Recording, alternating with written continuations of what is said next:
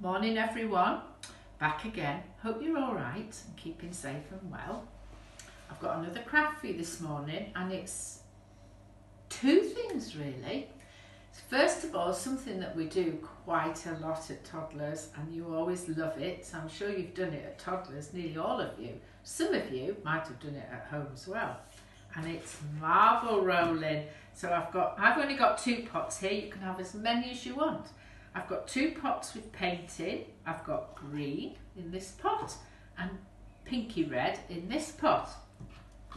And a spoon, so that's just to save me getting my fingers painted.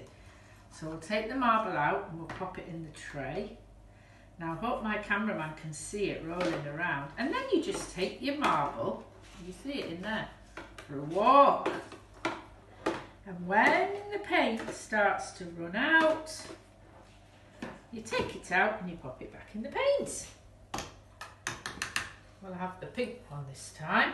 so it leaves a trail. It's always nice and delicate. Whee, whee. Should we have should we have two together this time?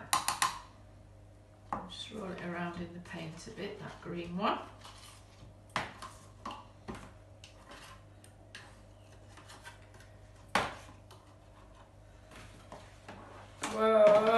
Chasing each other. And if you're very careful, you can get them to jump. And then they leave little dots. Oh, it's good fun, this. Tip it all the way so it goes backwards and forwards.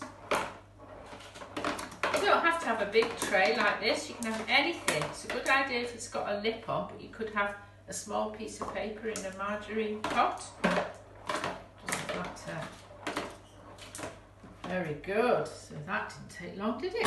And then you get a really nice pattern where the marble's been. Now, your story today that Wendy's going to be telling you is about a postman. And what we're going to do is when this is dry, you and your mummies can use it to make something.